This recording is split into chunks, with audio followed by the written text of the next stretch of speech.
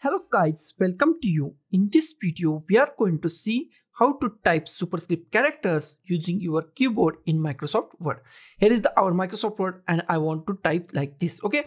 So I want to type like this. So I just go to the on-screen keyboard to show you which key I press. So to type, just type X.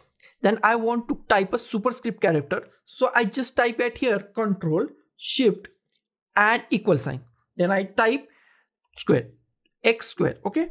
And to back to normal typing i just press once again control shift and equal sign. Then it's go to the normal type. So i go to the y okay? And i want to type y power 3 so i once again just click control shift and equal sign.